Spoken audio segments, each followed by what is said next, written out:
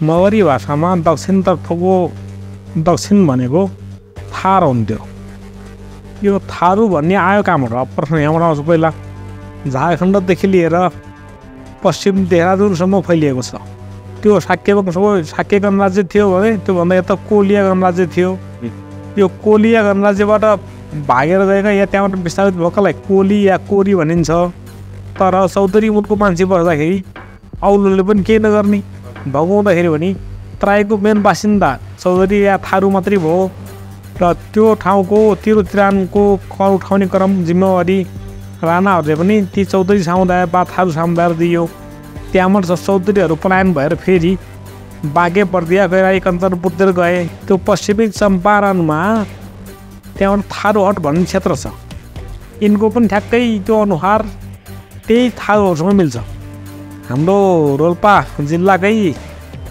पूर्व मन्त्री बालाराम घरती मगरले भनेअनुसार त नेपालका ठकुरी वा थारूहरू पनि सबै मगर हुन् भन्नुभएको छ। यिनीमा एउटा हुन्छ दैतवा एउटा हुन्छ भन्छ डङ्गोरा एउटा हुन्छ तेलिया। स्वागत छ यहाँलाई। धन्यवाद नमस्कार। हामी आजको विषयवस्तुमा हामी कुरा गर्नेछौँ थारू समुदायको बारेमा यो थारू समुदायको सबैभन्दा पहिले हजुरबाटै सुन्नु पर्दा यो यसको इतिहासलाई थोरै यो जातिको विषयमा यो यो समुदायको विषयमा भनौँ न थोरै कुराकानी गरिदिनुहोस् न त्यसपछि हामी कुराको प्रसङ्गमा जाउँला सर्वप्रथम त थारू भनेको थारू मगरी भाषामा दक्षिणतर्फको दक्षिण भनेको थार हुन्थ्यो त्यो थार भन्ने क्रममा त्यो थारमा बस्ने जातलाई थारू भनियो। त्यो हाम्रो मगरी भाषाको पुरानो त्यो छ। अब अहिले पश्चिममा वैज्ञानिकहरूले अन्वेषण गर्ने क्रममा पनि थारबाट तराई तार हुन गएको भन्छन्। त्यस्तै थारू बस्नेलाई थार या थारबाट तार तारबाट तराई हुन गएको हो। यो थारू भन्ने आयो कहाँबाट प्रश्न यहाँबाट आउँछ पहिला। अब सृष्टिको आदिकालमा मान्छेहरू कुनै ठाउँबाट आयो होलान्। त्यसलाई ल्याए व्याख्या र विश्लेषण नगरौँ। या मगरातबाट आयो या दक्षिणबाट आयो या पश्चिमबाट आयो। कतैबाट आउनला आयो? र आए पनि नेपालको दक्षिणी बेल्ट तराईको पहिलो आदिवासीको रूपमा थारू मानिन्छ। अब यो थारू भनेको पश्चिम नेपालको कञ्चनपुरदेखि पूर्व नेपालको झापा जिल्लासम्म फैलिएको छ नेपालमा। र यो नेपालमा नभनेर सम्पूर्ण भारतीय उपमहाद्वीपमा भन्ने हो भने झारखण्डदेखि लिएर पश्चिम देहरादुनसम्म फैलिएको छ। यसको जात त्यो तराईको माथिल्लो बेल्ट भारतको माथिल्लो बेल्ट र हाम्रो नेपालको तराई प्रदेश मात्रै छ यसको अन्त छैन एउटा कुरा गर्न जाँदाखेरि यो नेपालमा यो कविला भनौँ न परिवार र जातीय गणराज्यको आत्मनिर्णयको अधिकार प्राप्त गर- अ, गर्नको सदस्य हुँदै राजतन्त्र र राणा शासनकालमा प्रजा र रैतीको पहिचानमा बाँच्नु पर्यो त्यसपछि दुई हजार सात सालको जनक्रान्तिपछि नागरिकको दर्जा पाएको देखिन्छ तर त्योभन्दा अगाडि यसको पहिचान कस्तो थियो कस्तो दर्जामा थियो भन्ने कुरा बताइदिनुहोस् न यहाँ यो पहिलो सुरुवात के मानिन्छ भने आजभन्दा पच्चिस सय वर्ष पहिला जानुपर्छ। भगवान् गौतम बुद्ध जो शाक्य वंशी थिए। त्यो शाक्य वंशको शाक्य गणराज्य थियो भने त्योभन्दा यता कोलिया गणराज्य थियो। यो कोलिया गणराज्यबाट भागेर गएका या त्यहाँबाट विस्थापित भएकालाई कोली या कोरी भनिन्छ। भने यो शाक्यबाट विस्थापित भएर गएकालाई थारू या चौधरी भन्ने कुरो आयो। अब जहाँसम्म मन लाग्छ मेरो व्यक्तिगत विचारमा म के भन्छु भने गौतम बुद्धको त्यो मूर्तिलाई पनि अवलोकन गर्दा त्यो आर्य वा छेत्री नभएर त्यो थारू हुनसक्छ भन्ने अनुमान मेरो छ। यसो भन्दा यसो भन्दै गर्दा तपाईँहरू सबै सम्पूर्ण साथीहरूलाई यो के पर्ला भने गौतम बुद्धलाई पनि थारू बनाइदियो भन्ला। त्यस्तो त भन्ने हाम्रो नपरोस्। र त्यो राज्यका बासिन्दा भन्दाखेरि कपिल वस्तु आसपास कपिल वस्तुदेखि लिएर चितवनको ठोरी त्यो थारूहरूको मेन पहिलाको जनघनत्व भएको ठाउँ मानिन्छ र मेरो विचारमा त्यो त्यतैबाट त्यो शाक्यद्वारै शाक्य वंशबाट या शाक्य गणराज्यबाट यताउता भएको भएर पश्चिमी अफ्रो फैलिएको मान्न सकिन्छ जस्तै अर्को पनि एउटा कुरा छ यो थारू समुदाय नेपालको तराईको मूल जाति यसलाई भनिन्छ। त्यो तराईको मूल जाति भनेरै यसलाई किन भनियो? किन यिनीहरू पाहाडतिर आएर बसेनन् त बसोबास गरेनन् त यो भन्ने क्रममा के छ भने अब यो जस्तो तराईमा पहिला औलो थियो। त्यो औलो उन्मूलनदेखि पहिला पनि त्यहाँ थारू परा पूर्वकालदेखि बस्थ्यो।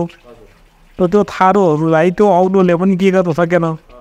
त्यो ठाउँमा गएर पहाडी पहाडी मुलको मान्छेहरू बस्न नसक्ने तर चौधरी मुलको मान्छे बस्दाखेरि औलोले पनि केही नगर्ने। भगाउँदाखेरि भने तराईको मेन बासिन्दा चौधरी या थारू मात्रै भयो। र यो थारू कसरी कम हुँदै गयो त सङ्ख्या यसको कुनै अधिकार राज्यमा किन भएन? भन्ने बारेमा कुरो के आयो भने त्यति बेलाको शाक्य वंशका रैतीहरू मान्नुपर्छ यिनलाई। त्यो यताउता भएर अब पश्चिमदेखि पूर्वसम्म फैलिने क्रममा प्रत्येक ठाउँको जङ्गलमा गएर आदि परम्परा अनुसार जङ्गल फाँदै बस्दै गर्ने झुन्ड बरु कापिला हो। त्यो कपिला ले त्यो ठाउँ पूर्वदेखि पश्चिमसम्म ओगट्यो। र त्यो सबै ठाउँमा थिएन फेरि। बिचमा जङ्गल पनि थिए। जङ्गलको बिचबिचमा चौधरी समुदाय या थारू समुदाय बस्ने गर्थ्यो। अब त्यसपछि पूर्वी नेपालमा मधेसीहरूको वर्चस्व भयो त्यो ठाउँबाट थारूको सङ्ख्या कट भयो। त्यसपछि पश्चिम नेपालमा खिल्पियो। यो पश्चिम नेपालको पनि दक्षिणी बेल्टमा। र भारतको उत्तर प्रदेश र उत्तराखण्ड राज्यतर्फ जाँदै गऱ्यो। यो भनेको तराई समतल भागमा बस्न जानेको यसको लहन रहन सहन भारी बोक्ने परम्परा सबै तराईमा जज हुन्छ। अब यसले पाहाडमा बस्न सक्दैन। उकालो ओह्रालो हिँड्न पनि सक्दैन। यो जात तेर्सोमा हिँड्ने अब समतल भूभागको प्राणी भन्न सकिन्छ यसलाई। जस्तै यो तराई क्षेत्रमा थारूहरू मूलवासी भनिन्छ अब तराईतिर फेरि यो मधेस सिस- मधेसी समुदाय पनि छ। त्यसमा वि- विभिन्न जात थरका पनि छन्। भनेपछि यो थारूहरूलाई हामीले मधेसी भन्न मिल्यो? मधेसी भन्न मिल्यो। र अहिले मधेसी भन्न किन मिल्दैन किन मिलेन भन्ने क्रममा यो राणा सरकारको जङ्गबहादुरको पालामा। जस्तो रेल रेलको लिगहरू ल्याउने क्रम गर्यो अङ्ग्रेजले। त्यति बेला नेपालको तराई प्रदेशमा प्रशस्तै सालका काठहरू थिए। त्यो काठलाई त्यहाँबाट इन्डिया लाने क्रममा रेलका लिग पनि त्यहाँसम्म जोइन गर्यो। जस्तो नेपाल छैन भारतको सिमानासम्म ल्यायो।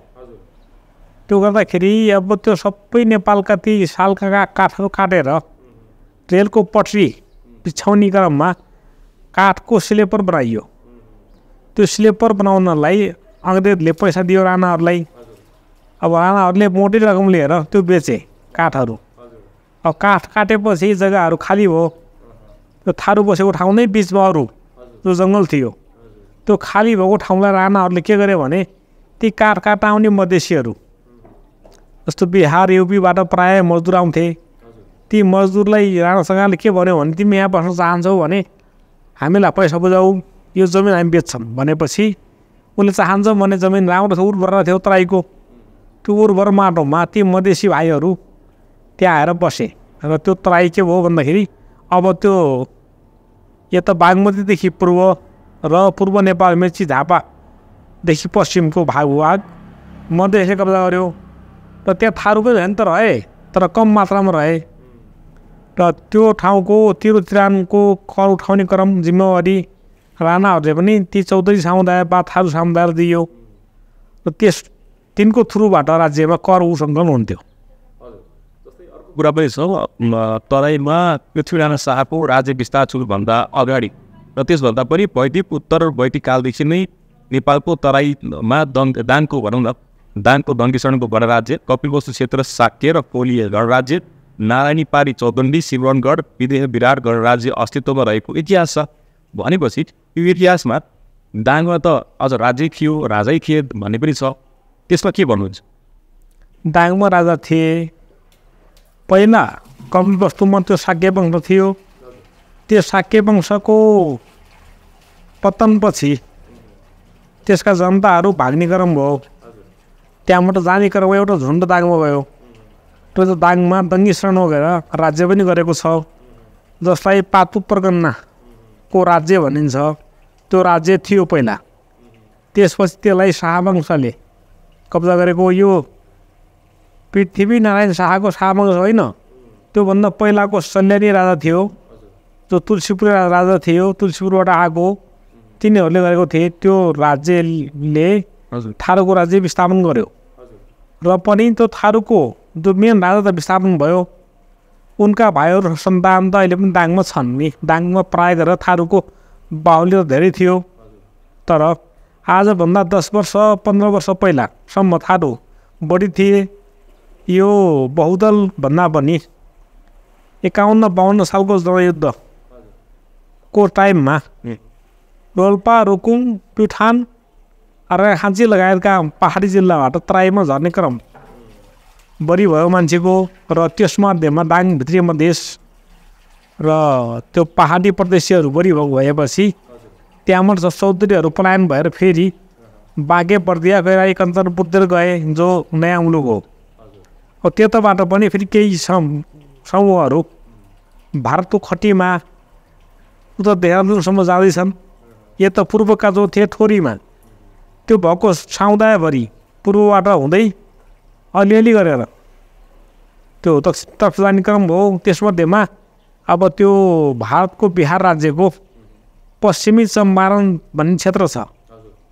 त्यो पश्चिमी चम्पारणमा त्यहाँबाट थारूहट भन्ने क्षेत्र छ। त्यो क्षेत्रको नामै थारूहट छ। त्यहाँ थारू धेरै छन् कि थारू गाउँ गाउँ बस्ती बस्ती त्यहाँको विधानसभा क्षेत्रमा दुईवटा तिनवटा विधानसभा क्षेत्रमा पुरै थारूको बस्ती छ। त्यसलाई आदिवासीको बस्ती भनिन्छ। र त्यो नेपालको ठोरीसँग त्यो त्यो त्यो के क्षेत्र सटेको छ।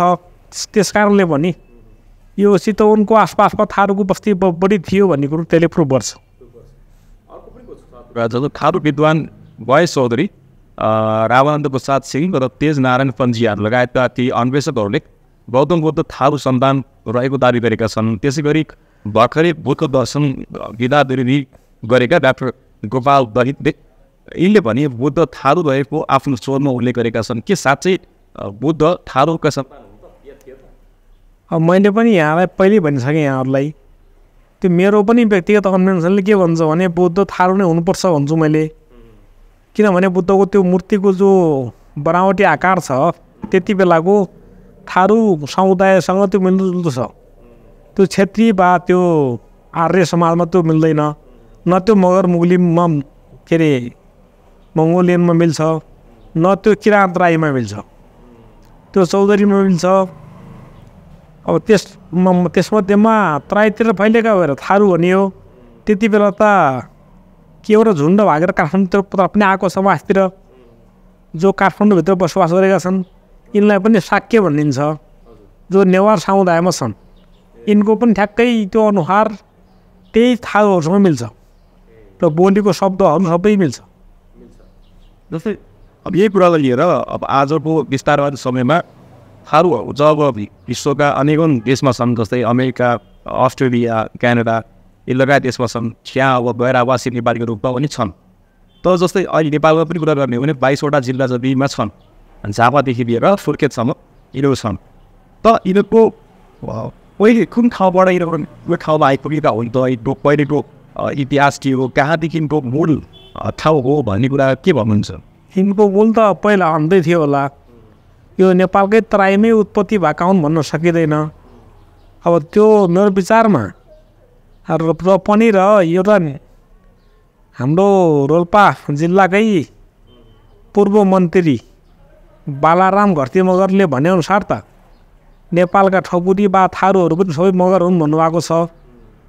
तर म त्यसरी भन्दैन। र त्यो मगरहरूकै एउटा हाङ हो। त्यतापट्टि गएको हो कि जस्तो कतैबाट आउने बेलामा।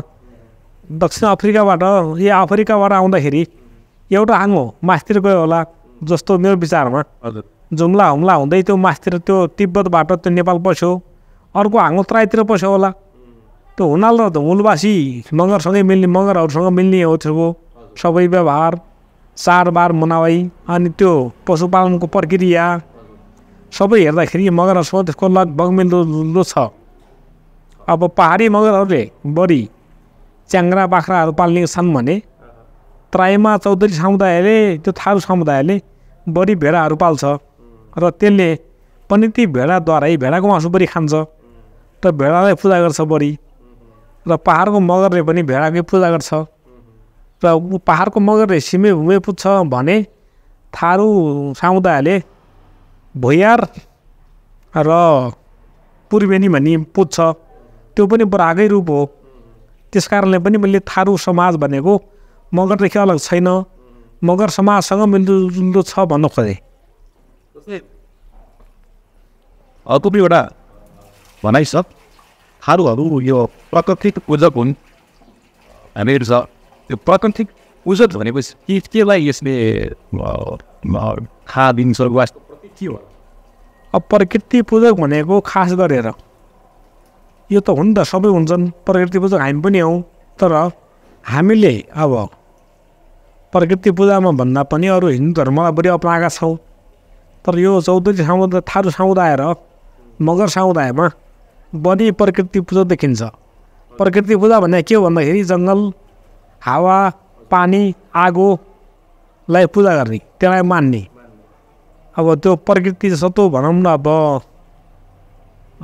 धान काट्यो भने थारूहरूले पुस माघमा मनाइने माघी त्यस्तै मगर समुदाय भने माघी छ माघीमा मगरहरूका छोरी बहिनीहरू माइतमा आउने मगरबाट टिको सिको लाउने चलन छ भने त्यस्तै थारू समुदायमा माघीमा पनि छोरी बहिनी आउने र थारूहरूले आशीर्वाद दिने चलन छ त्यो पनि मिल्यो। त्यस्तै अब असारको एक गते मगरले भूमि पूजा गर्छ पहाडी भेल्डमा भने चौधरी समुदायले पनि त्यो असारको एक गते थारूहरूले तराईमा भूमि पूजा गर्छ। उसले भुयार पूजा भन्छ भूमि पूजा भन्दैन फेरि। भन्ने फरक हुन्छ उसले भुयार भन्छ। उसले भुयार भन्छ भने मगरले पाहाडतिरको पहाडी बेल्टको मान्छेले भूमे भन्छ। त्यो फरक मात्रै हो र यो चिज एउटै हो। त्यस कारणले पनि यसलाई आदिवासी या जनजाति जनजाति त नभनौँ आदिवासीमा तराईको मूलवासीको रूपमै मानिन्छ यो। जस्तै अर्को राज्य सत्ताले थारू समुदायलाई हिन्दू धर्मावलम्बीका रूपमा राखे पनि थारूहरू हिन्दू वर्णाश्रमभित्र नपर्ने पानी चल्ने अ, मासिनिया जातिभित्र अ, राखेकाले हिन्दू नरहेको डरहेको देखिन्छ यो हिन्दू हुन् वा होइन हुँदैन नै यस्तो भयो हिन्दू भन्ने त पछि लादिएको हो पहिल्यै नि प्रकृति पूजक भए भन्दा सनातनी हुने नि पनि सनातनमा त सबै गर्न पाइन्थ्यो प्रकृति पुज्न पाइन्थ्यो अब कसैले केही पनि गर्न पाउँथ्यो हजुर त्यो भनेको सनातन भनेको आफ्नो धर्मको निम्ति छुट भन्नेलाई समाज सनातन भनेको हो त्यो सनातनबाट अब हेर्दाखेरि यिनीहरू पहिला प्रकृति पूजक हुन्। त्यसपछि यिनीहरू बौद्ध मार्गी हुन्। यिनीहरूको वास्तवमा धर्म भने बौद्ध धर्म हो। तर त्यो नभएर हिन्दू समाजमा बढी घुलमिल भएको छ। अब म पनि स्वयं चौधरी समुदायको नजिकै बसेका मान्छे हुँ। मेरा लगभग साथीहरू सबै चौधरी समुदाय केटाहरू थिए। उहाँहरूसँग म बस्ने उठ्ने सँगै पढ्ने गर्थेँ। त्यस्तै अरूले पनि गऱ्यो होला। भन्दाखेरि अरू पहाडी समुदायको बिचमा बसेर र हिन्दू संस्कारले बढी उ गरेको हुँदाखेरि थारूहरू पनि हिन्दूमा ढल्न गएका छन् र थारूहरूले तिहार दसैँ हिन्दूको सबै पर्वहरू मनाउँछन्। त्यस कारणले यिनलाई हिन्दू भन्न खोजेको होला। यिनी वास्तवमा हिन्दू होइन नि यिनी बौद्ध हुन् भन्छु म। जस्तै मैले किन सोधेँ भने अब राज्य सत्ताले यसलाई हिन्दू धर्मावलम्बीका रूपमा राखे पनि यिनीहरू जुन हिन्दू वर्णाश्रमभित्र यिनी नपढे देखिन्छ। अर्को कुरा के छ भने फेरि थारू कल्याणकारी सभाले थारूलाई बुद्ध धर्मावलम्बी रहेको बताउँछ। तर सबै थारू त्यस अनु- अनुरूप पनि छैनन् फेरि। र अन्तिममा थारूहरू आजको दिन आफूलाई हिन्दू बौद्ध क्रिस्चियन आदि धार्मिक परिचय उनीहरूले बनाएको देखिन्छ। भनेपछि त्यहाँभित्र पनि विविधता पाइयो नि। विविधता छ यिनको पनि थर छ जात हुन्छ। यो भित्र एउटै थारू मात्रै जात भयो त्यहाँदेखिको भित्र विवाह हुन्थेन नि त। यिनीमा एउटा हुन्छ दैतवा। एउटा हुन्छ भन्छ डङ्गोरा। एउटा हुन्छ तेलिया। अब यिनीहरूको आवाजमा पनि छोरी चेली चल्ने कारणले यिनको थर अलग हुन्छ के? थारू भनेको जात होइन थारू भनेको पद हो। जस्तो थारमा बस्ला थारू भनियो पाहाडमा बस्ला मगर भनियो। मगर पनि जात त होइन मगर पनि थर पनि होइन। होइन। त्यो मगर भन्ने एउटा पद हो त्यो। त्यसलाई जातमा राखेको हो जस्तो चार जात छत्तिस वर्ण गर्दाखेरि। अब त्यो ब्राह्मण क्षेत्रीय वैश्य सूत्र भन्दाखेरि यिनीहरूलाई वैश्यमा राख्यो हिन्दूले तर यिनीहरू वास्तवमा त्यो हिन्दू होइनन्। हिन्दू होइन।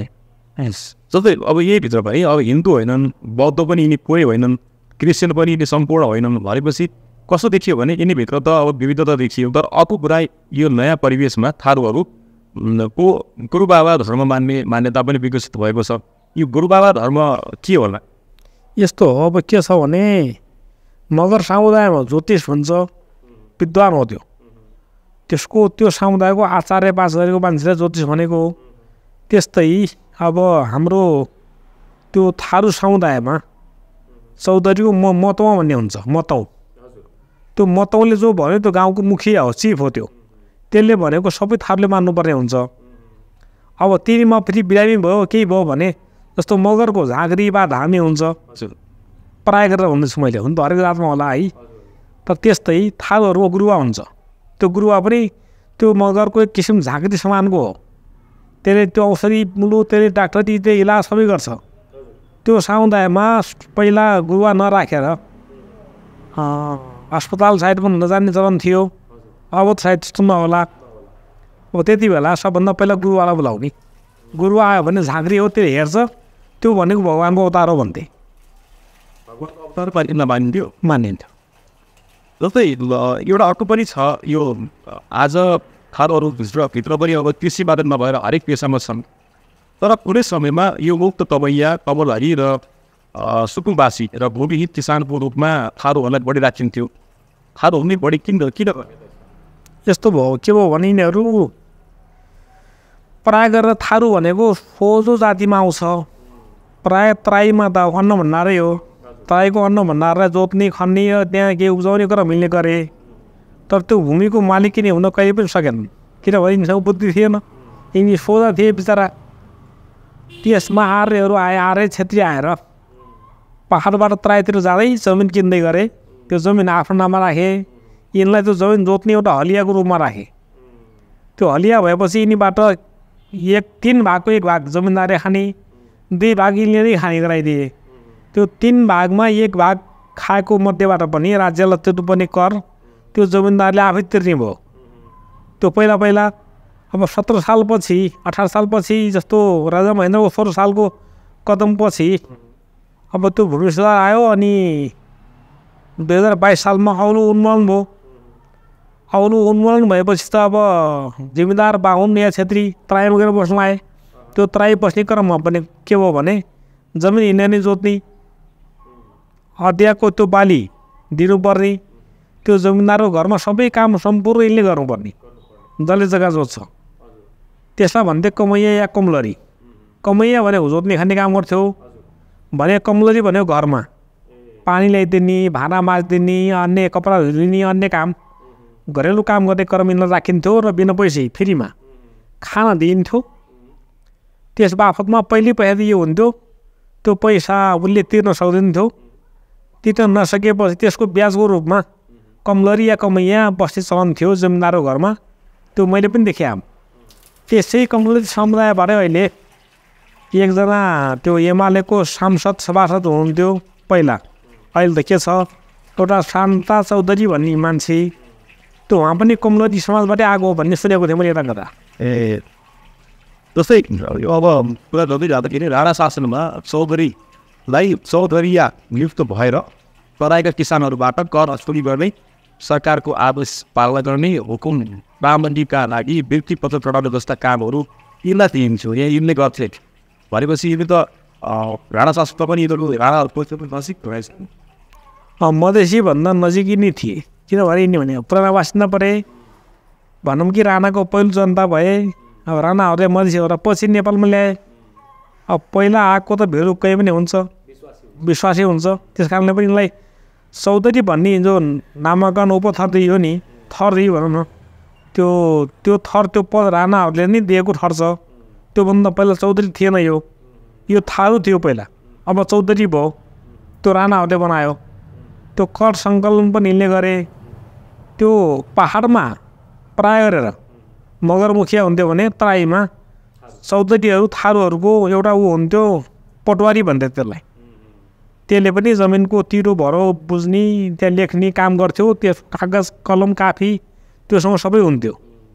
त्यसलाई पटवारी बा भन्थे जस्तो पाहाडमा मुखिया बा भने जस्तै तराईमा पटवारी बा भन्ने अब पाहाडमा जिमल बा हुन्थे भने तराईमा त्यो जिमल बा भएन चौधरीहरूले बुझाए राणालाई कर। जस्तै अब राणा मात्र होइन अब यिनीहरू त पृथ्वीनारायण शाहकोदेखि शाहको पालादेखि यिनीहरू एकदमै विश्वासी रहेछन् भन्ने पनि भनिन्छ। फेरि पृथ्वीनारायण शाहले काठमाडौँ कब्जा गर्दा थारू सेना पनि डगेका थिए भनेर भनिन्छ। त अब एउटा एउटा कुरा मैले जस्तो गर्न खोजेको कुरा के हो भने यिनीहरू विश्वासी त थिए नै तर अब दुई हजार सात सालको परिवर्तनपछि बर्दियाका राधाकृष्ण थारू पर परशुनारायण थारू विजय कुमार गजदार जस्ता केही थारू नेताहरूले राजनीतिक रूपमा स्थान बनाए पनि नेतृत्वदायी भूमिकामा उनी कहिले आउन सकेनन्। यो समुदाय कहिले पनि नेतृत्व नेतृत्वदायी भूमिका आउन सकेन। नेतृत्वमा आउन नसक्नुको मूल कारण के हो? यस्तो भयो राज्य भनेको छेत्री बाहुनले चलायो। अब थारू भनेको दास दासीको रूपमा राखे यिनले। माथि आउन दिएनन् क्या यो जातलाई? अब त्यति बेला त टिकट सिस्टम थिएन। त्यति बेला जनतामा जो पनि उठ्न पाउँथ्यो त्यही पनि यो जातले उठि हिम्मतै गरेन के? हिम्मत गरेन हिम्मत गरेको भएपछि परशुनारायण चौधरी भनेको त राज परिवार परिषदको पनि अध्यक्ष थियो। उसले त पायो नि। त्यस्तै अरूले त पाएन नि फेरि। किन अरू त आउनै चाहेन? हल जोत्ने है बस्ने मजाले खाने। त्यो मात्रै रमाए यिनीहरू। त्यस कारणले गर्दाखेरि पछि पर्दै गए। र राज्यले हमेसा पछाडि पार्यो। र अहिले पनि नम्बर एकमा राज्यले दबाएको भनेको मेरो विचारमा बाहुनले छेत्रीलाई हो। नम्बर दुईमा अब जुनसुकै समुदायबाट भनौँ थारू हो एक नम्बरमा छेत्री दुई नम्बरमा थारू नेपालको उसमा दबेको अहिलेको प्रशासन अहिलेको सत्ताबाट केही पनि फाइदा नपाएको भनेको दुई जात हो अब जस्तै थारूहरूलाई अब थारू भन्दाखेरि उनी रिसाउने वातावरण पनि छ उनीहरूलाई चौधरी भन्दा उनीहरूले अलिकति आफूलाई सम्मान गरेको जस्तो होइन तर थारू भनेपछि उनीहरू अलिकति हामीलाई अपमान गरे कि भन्ने पनि भनाइ छ यो थारू शब्दले उनलाई कतिको असर पर्दो रहेछ भन्ने कुरा लाग्छ यस्तो अब त्यो नबुझेका मान्छेले। चौधरी भन्न पाएपछि खुसी हुन्छ अहिले गर्व गर्छ। जस्तो अब हामीले छेत्री भन्न पाएपछि खुसी हुन्छौँ नि। त्यो हामीले नबुझाले हो। त्यो बुझेकाले त आफ्नो छेत्री त छँदैछ नि। त्यो आफ्नो थर्म ठुलो होला भन्ने सोच्नु पऱ्यो त्यस्तो हिसाबले त त्यो चौधरी भन्दा थारू भन्नु गर्व गर्नुपर्ने हो। किनभने थारू पहिला भएको हो नि। थारूबाटै चौधरी भएको हो। चौधरी कसैले बनाइदिएको हो थारू आफै बनेको हो किन बन्यो आफै भनेपछि मगरी भाषामा दक्षिण भनेको थार हुन्थ्यो त्यो थारमा बस्नेलाई थारू बन्यो भनेपछि थारू आफै बन्यो चौधरी भनेको राणाहरूले पद दिए त्यो पाएको पद हो र चौधरी भन्दा उनीहरूले गर्व गर्छन् थारूभन्दा अलिकति रिस्या गर्छन् त्यस्तो गर्नु हुँदैन भन्छु म मेरो विचारमा है मेरो विचारमा चौधरी भन्नुभन्दा थारू भन्नु फाइदा हो र थारू भन्नेमा गर्व गर्नुपर्छ भन्छु म अब जस्तै थारूभित्र पनि अब यिनीहरूको चाडपर्वमा हरेक कुरामा यिनीहरूले हिन्दू धर्मसँगै जोडिएका पर्वहरू पनि मनाउँछन् ती विशेष त्यो चाडहरूको विषयमा केही भनिदिन सक्नुहुन्छ हजुरले यस्तो भएको त्यो दैत्व भन्ने हुन्छ त्यो दैत्व भन्ने थरले त्यसले पुरै हाम्रो पहाडी परम्परा अनुसार गर्छ दसैँ तिहार सबै मान्ने र हाम्रै मान्ने दिनमा त्यसले मान्ने गर्छ त्यसले। तर अरू समुदायले के गर्छ भने अलिकति फरक रूपमा जस्तो मैले योभन्दा अघिल्लो भिडियो भनेको छु त्यो पञ्चमीलाई दसैँ मान्छन् नेवारको साके कोलियाहरू जातिले त्यस्तै थारूहरूले पनि कुनै दिनलाई मान्छन्। ठ्याक्कै यो दिन भन्ने मलाई याद भएन। त्यो दिनलाई मान्छन् र दसैँ मान्छन्। जस्तै तिहार पनि मान्छ दैतवाले तिहार भनेको औँसी भाइ तिहारलाई पुरै मान्छ उसले। टिका धार्ने गर्छ। तर त्यो अरू अरू अरू थारूहरूले त्यही दिनलाई मान्दैनन् अर्को दिनलाई मान्छन्। र यिनको खासै पर्व त माघी हो। जस्तै थारू जाति आफ्नै थारू भाषाका अलावा नेपाली भाषा बोल्छन् भने केहीले क्षेत्रगत रूपमा बोलिने भोइस भोजपुरी मैथिली तथा अवधि भाषा पनि बोलिरहेका हुन्छन्। थारू आफ्नै संस्कृतिबाट आउने जाति हो। दसैँ तिहार अलावा थारूहरूलाई धुमधामसँग माघी जितिया आदिबाट बनाउँछन् अब यसमा पनि मैले भन्न खोजेको कुरा के हो भने उनीहरूको भाषा जति छ त्यो आर्यलीसँग बढी मिल्छ आर्यहरूसँग मिल्छ। तर उनीहरूको जो अनुहारको चित्रण छ त्यो मङ्गोल जस्तो देखिन्छ। होइन दक्षिणतर्फका अ, आर्यनहरूको सम्पर्कमा रहेको परेकाले गर्दा परेकाले गर्दा थारूहरूको जनजीवन र रहनसहन त्यस्तै भएको हो कि? वा के हो भन्ने कुरा बताइदिनुहोस् न यस्तो हो मेरो विचारमा के मान्छु भने यिनीहरूको आर्यसँग बोली व्यवहार मिले पनि। त्यो यसो हेर्दाखेरि तिनको सबै रहनसहन आर्यहरूसँग नमिलेर मगरसँग मिल्छ मगरसँग अनुहार पनि मिल्ने सबै मिल्ने अनि त्यो चाडपर्व पनि मिल्ने र त्यो बोली पनि अब त भनेकोलाई ट भन्ने त्यो मैले प्राय गरेर भने है सबैलाई भनिनँ फेरि मैले प्राय गरेर मैले मगरमा पनि देखेँ त्यो मगरदेखि तल गएपछि थारूमा पनि देखेँ अब थारू भनेको तराईमा बसेर कालो भएको हो, अलिकति कालो हुन्छ। भनौँ न गहुँ गोरो हुन्छ। भने मगर बढी गोरो हुन्छ। त्यति रङ मात्रै फरक हो अरू सबै मिल्ने। अब पाल्ने क्रम मैले पहिले भनिसकेँ भेडा अहिले पाल्छन् भने च्याङ्ग्रा भेडा लगायत बाख्रा मगरले पाल्छन्।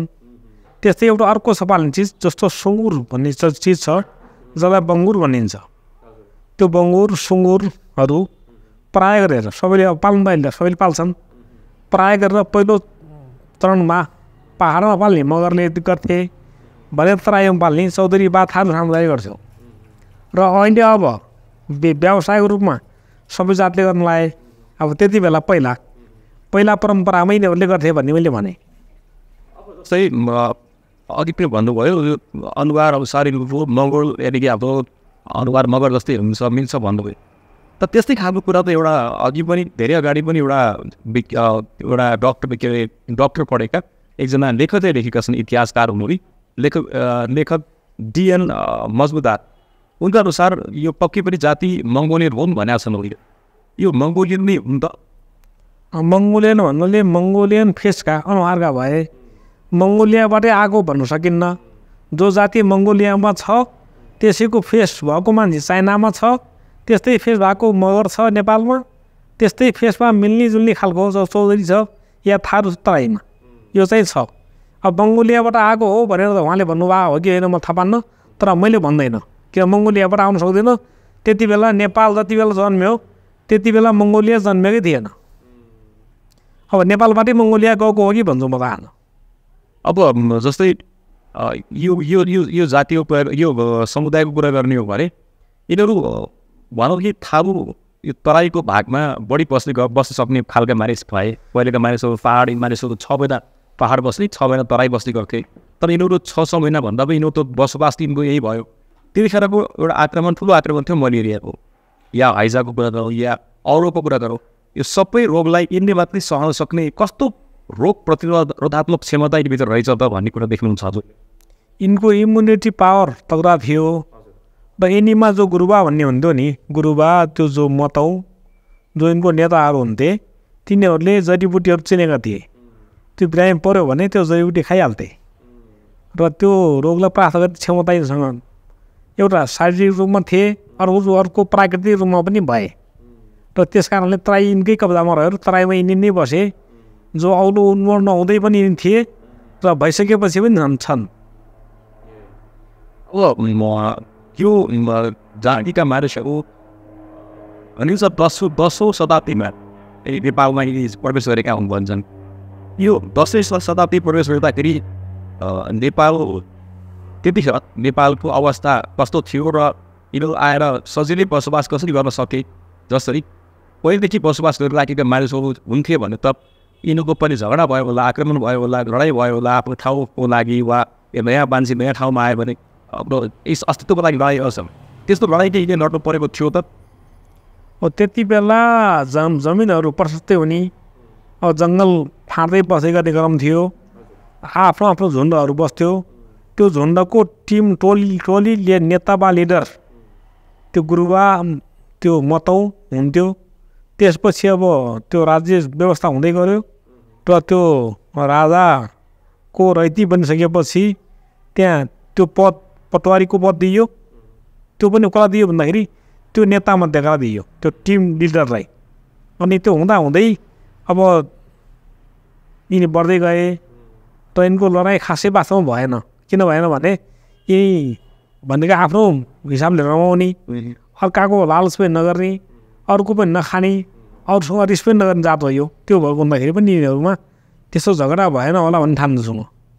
अब हामी प्रोग्रामको अन्तिम अन्तिम आइसकेका छौँ जस्तै एउटा कुरा यहाँ जोड्न मन लाग्यो। यो थारूहरूको कुल देवता कुल देवताको कुरा गर्दा काली भगवती मैया र जुन गोरैया हुने गर्छन्। हरेक घरमा कुल देवता फुलवा बस्नु बास छ भनिन्छ। हामीले मान्छौँ उनलाई। र कुल देवता रहेको ठाउँमा घरमूली नै सुत्ने नियम छैन अरू कोही सुत्न नपाउने घरमूली मात्र सुत्न पाउने। यिनीहरूका सामूहिक देवता अ, वर्दम र वियार हुन्। जसलाई चैत्र र भाद्रमा पूजा गर्नुपर्छ भनिन्छ। यो यो विषयमा पनि थोरै यहाँ जानकारी हजुरसँग। अब यिनीहरूको मेन भनेको भुइँयार भन्छ। देउता त अरू पनि धेरै हुन्छन् यिनीहरूसँग देवीहरू भए अरू सबै भए। मेन यिनीहरूले भुइँयार पुज्छन्। त्यो भदौको महिना भुइँयार पुज्दाखेरि यिनीहरूले देशबन्दी गुरुवा बनाउनु पर्छ त्यो आफ्नो ठाउँको गुरुवाले गर्दैन। त्यो आफ्नो एरियाभन्दा भन्दा टाढाको गुरुवा आउँछ त्यो देशबन्दी भनेको मतलब देशमा बाँध्ने खालको देशको ठुली मान्छे हो। त्यो त्यो राज्यको भनौँ न त्यो राज्यको नेता आउँछ त्यो देशबन्दी गुरुवा भन्ने बाउ मऱ्यो भने छोरो हुँदो रहेछ त्यस्तो हिसाबमा त्यो गुरुवा आउनको दिनमा त्यो जो पूजा हुन्छ त्यो सबैले उठाएर हामीले छेत्री पनि दिनुपर्ने हुन्छ छेत्री बाहुनले दिन्छौँ र त्यो पूजा हुन्छ त्यो दिन देशबन्दी गुरुवाले देश बन्द गर्यो भने घाँस काट्न गाई फुकाउन केही गर्न पाइँदैन। उसले देश नफुल्दासम्म त्यो फुकायो भने अरू त के हुनु अरे? त्यो भुइँयारले हान्छ या भूतले खान्छ भन्ने त्यस्तो किसिमको परम्परा छ। त्यस कारणले हामीले पनि खेतमा गएर काम गर्न मिल्दैन त्यो दिनमा। र यिनले भुइँयारलाई नै इष्ट देवता मान्छन् भन्ने मैले मान्दछु। ल- अन्तिम एउटा प्रश्नबाट म यो प्रोग्रामलाई समापन गर्छु। जस्तै नेपालभरिमा यो गुप्त- यो यिनीहरूको जुन एउटा ठुलो अँध्यारो समय भनौँ न कमैया प्रथा। अ, त्योबाट यिनीहरू एकदम बढी पीडित थिए। तर दुई हजार सत्ताउन्न साल दुईमा साउन दुईमा मुक्त गरिएपछि उनीहरूको अवस्थामा सुधार आएको छ भनिएको छ। तर हजुरले के देख्नुहुन्छ? सुधार साँच्चै आएको छ त? साँच्चै धेरै खास आएको छैन अलिअलि आएको छ। मुक्त कमैयाहरूलाई जग्गा जीवन बाँडेको छ पनि दिएको छ थोरै भए पनि एक कट्ठा दुई कट्ठा जग्गा दियो। जग्गा धनी लाल पूर्जासम्म बाँडि बाँडिसकेपछि अब देशको बासिन्दा हुन पाए नि। हिजो त देशको बासिन्दा पनि थिएन। जसको नाममा एक धुर जग्गा पनि थिएन। भने यिनी अब खतम थिए। त्योभन्दा पछि अब अलिकति फाइदा भयो। जग्गाको मालिक हुन पाए। र त्यति मात्रै होइन। यिनीहरूलाई खासै राज्यले दिनुपर्ने दिएन यिनको माग यो हुन त यो सङ्घीयता टेक्छ भन्न सकिँदैन।